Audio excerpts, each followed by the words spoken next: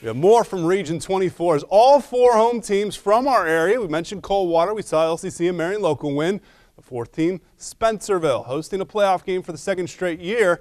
Last year, they lost to St. Henry, but it's a familiar foe this year for Bearcat coach Chris Summers in Mechanicsburg. Of course, Summers faced the Indians each of the last two years in the playoffs when he was the coach at Jefferson. But gone from those Mechanicsburg teams, Ohio State wrestler Caleb Romero the team's all time leading passer and rusher in Spencerville.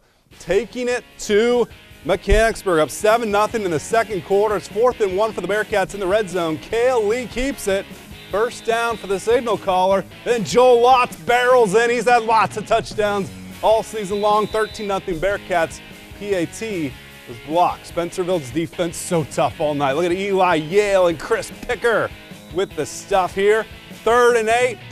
Jacob Settlemeyer gets in on the act. Look at the sumo wrestler takedown. Bearcats get it back before the half.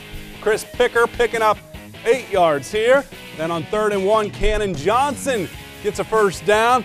But this drive stalls. Bearcats up 13 0 at the half, and they pour on three more touchdowns to win it. Final score 34 to nothing. Bearcats into the playoffs for week 12 against Marion Local.